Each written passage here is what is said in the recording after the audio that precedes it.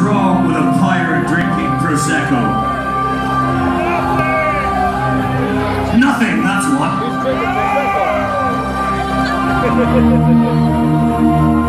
so Joliet, I want to tell you while we're here tonight.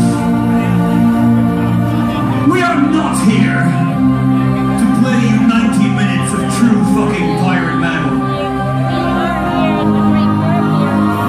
We are not here